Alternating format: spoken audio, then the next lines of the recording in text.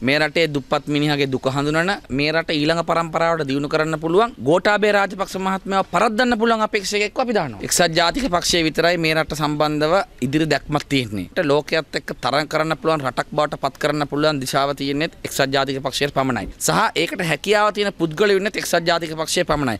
ඒ වැඩපිළිවෙල අපි ඊළඟ ජනාධිපතිවරණයේදී ඉදිරිපත් කරනවා. පක්ෂය කරන චෝදනාවක් තමයි ආණ්ඩුවට ජනතාවකට යන්න සුදුසුකම් නැහැ මුකුත් කරලා නැහැ. ඒගොල්ලන්ට තියෙන සුදුසුකම් මොකද්ද? රතු පස්සලදී වෙඩි තියපු එකද? රොෂෙන් චානක මරපු එකද? ලසන්ත මරපු එකද? එහෙම නැත්නම් මිග්ජානා ගනුදෙනු කරපු එකද? ආණ්ඩුවේ සල්ලි වලින් අම්මා තාත්තගේ සොහොන් කොත් හදපු එකද? එහෙම නැත්නම් කෝච්චි වල මාලා කඩපු එකද? මොනවද තියෙන සුදුසුකම් ඒගොල්ලන්ට?